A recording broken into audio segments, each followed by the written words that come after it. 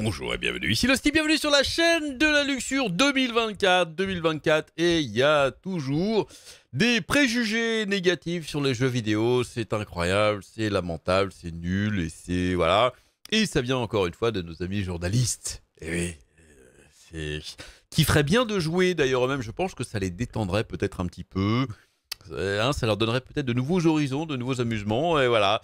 Souvenez-vous, ça concerne la news que, dont j'avais parlé d'ailleurs de ce jeune homme, cet adolescent qui avait battu un record de Tetris, voilà, euh, Tetris 88, hein, Tetris des premiers, euh, un des premiers.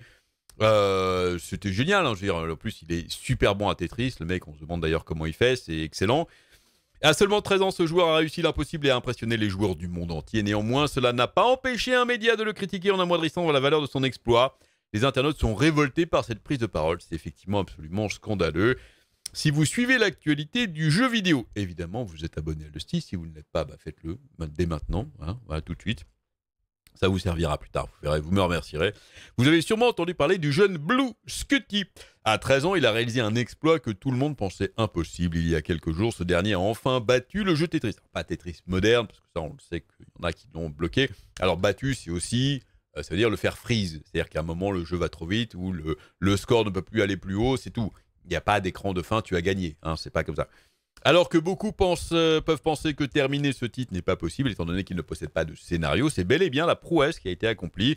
Comment est-ce possible? Blue Scooty Willy, de son vrai nom, a réussi à atteindre le niveau 157 et le trou kill screen, dans le fameux kill screen où ça freeze. Il s'agit de la seule façon de gagner dans Tetris, c'est-à-dire de faire planter le jeu et donc de réellement le battre, entre guillemets. Le jeu, bah, vous allez trop vite pour le jeu, en fait, voilà. C'est l'esprit. Pour illustrer à quel point cet exploit est impressionnant, beaucoup de joueurs ne parvenaient pas à dépasser le niveau 29. À partir de ce moment-là, les blocs tombent de plus en plus rapidement, ce qui rend la difficulté de ce pilier du jeu vidéo complètement absurde. Qui plus est, vers le niveau 146, les couleurs deviennent encore plus ternes, ce qui ne permet pas de distinguer les formes correctement. C'est avec beaucoup d'entraînement et de technique, telles que la vibration des doigts, que ce jeune prodige. c'est vraiment un exploit hein, ce qu'il a réussi parce que personne avant lui n'avait réussi. Et le gamin, il a 13 ans. Hein. Il y a des gens euh, qui sont euh, entraînés pendant des années pour essayer de faire ce truc-là, jamais réussi. Néanmoins, alors que tout le monde célébrait cette victoire de plus euh, impressionnante, un média a relayé l'information d'une façon assez méprisante. L'exploit est si marquant que la nouvelle s'est rapidement répandue au-delà de la sphère vidéoludique. De ce fait, des personnes complètement hermétiques à cet environnement se sont appropriées le sujet pour critiquer ce jeune joueur et amoindrir sa prouesse. Ah. Les joueurs auraient dû être ravis de voir que la télévision a évoqué l'exploit du jeune Blue Scotty. C'est vrai, on n'en parle pas assez souvent des exploits du jeu vidéo. En général, c'est toujours traité de manière assez méprisante, comme une espèce de truc euh, assez bizarre, le jeu vidéo, qui ne mérite pas, alors que c'est euh, le divertissement numéro un au monde, devant la musique et le cinéma combiné, avec des artistes absolument géniaux dedans. Euh, des grands noms d'ailleurs de, l'artiste, de la création artistique qui viennent et qui aident à créer des jeux vidéo au niveau de la musique, au niveau de ce que vous voulez. Et pourtant, alors on parle à fond de la musique et du cinéma dans les médias traditionnels, le jeu vidéo, que dalle, j'ai toujours vu comme une espèce de, de loisir euh, inutile euh, et complètement, enfin pas has mais un truc de gamin en fait. Et c'est dramatique, hein. c'est vraiment dramatique. On voit que les mentalités évoluent même vraiment très très très lentement. Bref. Ils ont toutefois très vite déchanté quand ils ont vu les propos tenus sur cette célèbre chaîne d'information britannique, ici la Sky et Sky News. C'est la présentatrice Jane Saker qui est devenue très célèbre après, hein, je peux vous dire, qui a vivement critiqué la prouesse de ce joueur ici, voilà. Euh, en tant que mère, je vous dirais simplement, alors c'est ça en fait, elle a donné la news et elle a dit voilà, en tant que mère, je vous dirais simplement de vous éloigner de l'écran. Sortez, prenez l'air. Battre Tetris n'est pas un objectif de vie.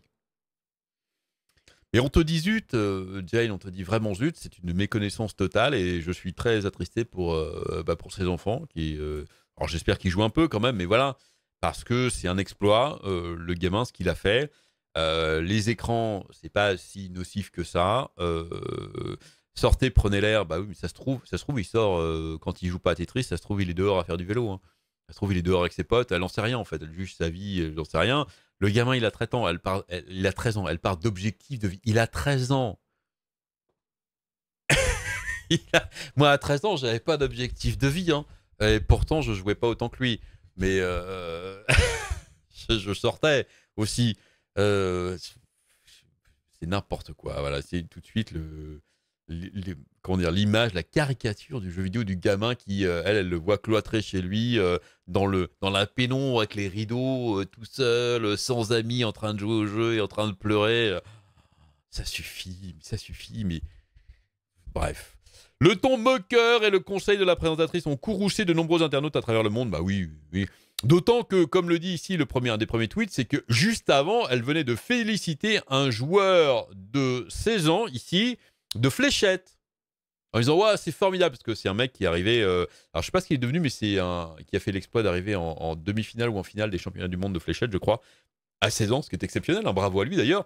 Mais euh, voilà, les fléchettes, euh, bon, si on veut comparer où on joue les fléchettes comparé à où on joue aux jeux vidéo, la plupart des champions, j'adore les jeux de fléchettes. Hein. C'est génial ce qu'ils font. Ils ont un skill monstrueux. Ils s'entraînent à fond.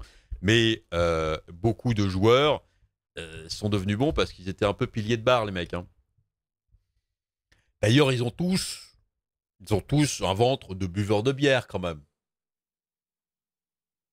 Bon, bravo. Encore une fois, j'adore les fléchettes. Je trouve ça formidable. Je regardais d'ailleurs euh, sur Eurosport quand j'étais étudiant euh, la nuit, euh, quand, je, quand je révisais, je regardais, je mettais les trucs, il y avait les tournois de snooker, de, fléchettes, parce que ça passe pas sur les médias traditionnels. Donc je regarde ça, j'adore ça. Mais euh, voilà, si on veut comparer, bon, ça se trouve, le gamin de 13 ans, il fait beaucoup plus de sport, d'activité physique dehors que celui qui joue aux fléchettes. Là. Bref. Encore une fois, le jeu vidéo et ses joueurs souffrent du mépris de ceux qui ne connaissent pas cette euh, culture. Voilà, c'était euh, c'est lamentable. Du coup, bah, elle s'en est pris un peu plein la face. Bon, malheureusement, il y avait dans le lot il pas mal d'insultes. C'est toujours très dommage, qu'on peut critiquer. Mais c'est quand même navrant de voir à quel point ils ont une méconnaissance totale de ce monde. Alors, ça aurait été dans les années 80. Bon, allez, à la limite, euh, pourquoi pas. Hein. Et encore, on parlait beaucoup de jeux vidéo dans les années 80-90 parce que c'était un peu le boom, cette nouvelle industrie qui parlait, qui plaisait aux jeunes et tout. Mais les gens sont restés à ça, en fait. J'ai l'impression qu'ils ont pas. Ils ont, ils ont vu une image, une espèce d'image d'épinal, hein, comme on dit. Ils ont il y a une image qui est figée sur une carte, ça y est, sur une. Hein, et ils en démordent pas.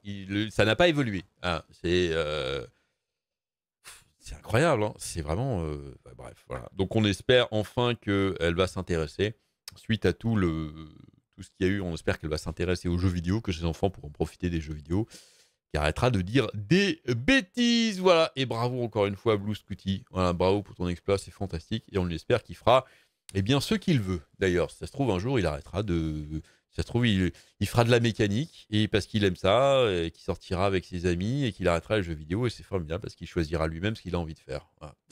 Allez, c'est tout ce que j'ai là-dessus pour aujourd'hui. J'espère que ça vous aura plu. Dites-moi ce que vous en pensez dans les commentaires. Amusez-vous bien. Et à très bientôt.